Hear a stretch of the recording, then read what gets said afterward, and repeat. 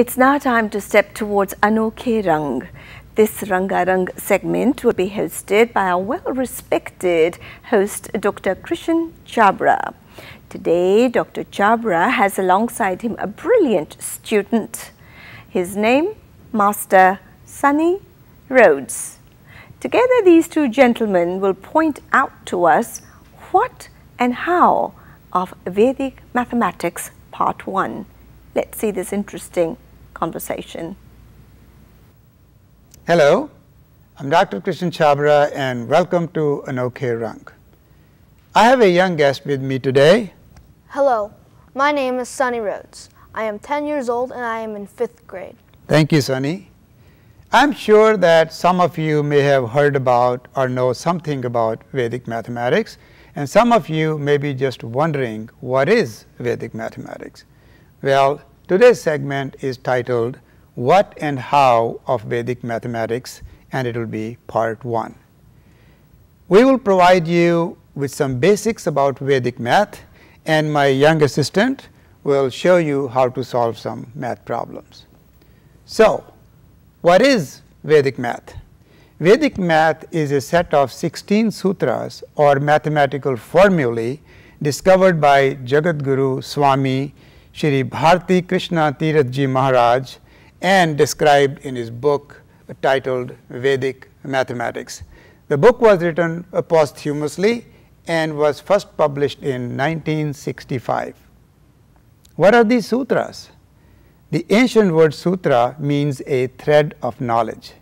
These sutras are mathematical aphorisms or formulae. There are 16 sutras.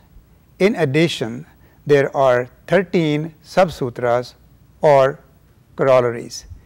These sutras and subsutras can be used to solve mathematical problems, some of which can be solved in fewer steps and in less time as compared to the conventional methods.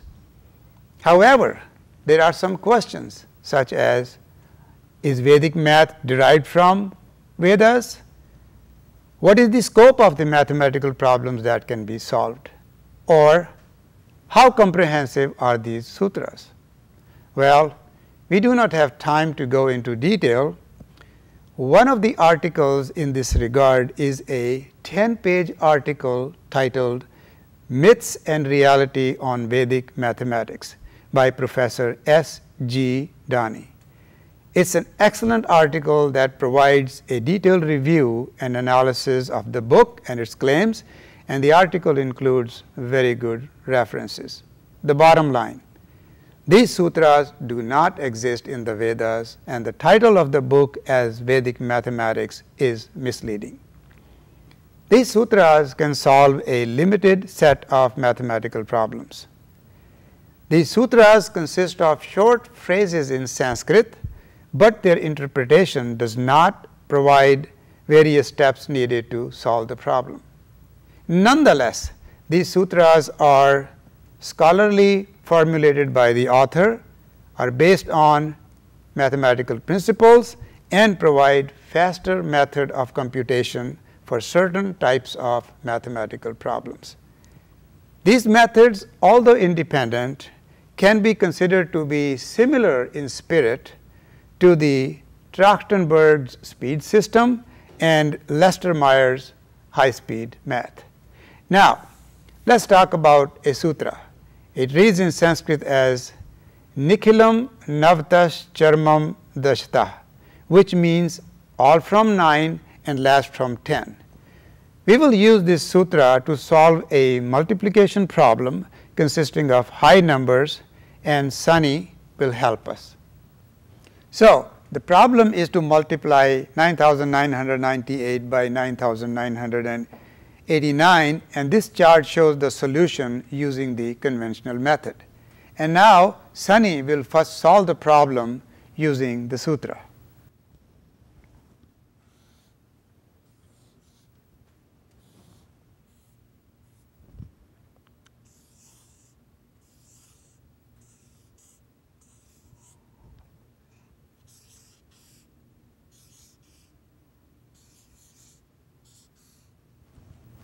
Thank you. That was quick.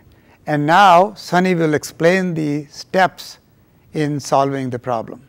The first step is to find a base, which is usually to a power of 10 and is close to both numbers. So in this case, it would be 10,000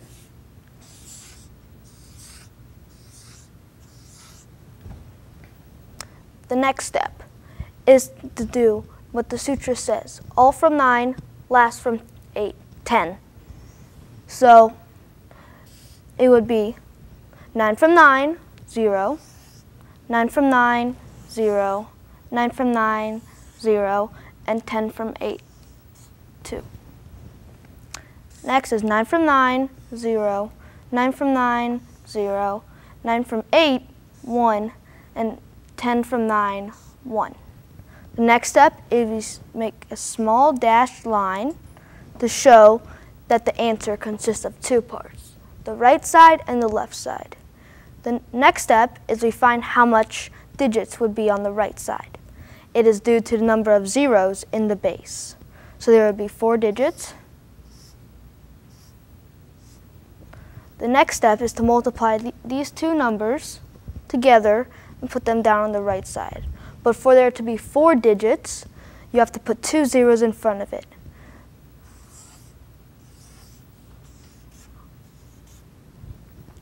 The next step is we do cross subtraction.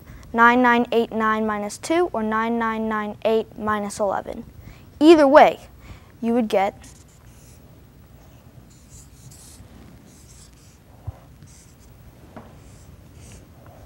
So the answer is 99870022. Thank you, Sonny.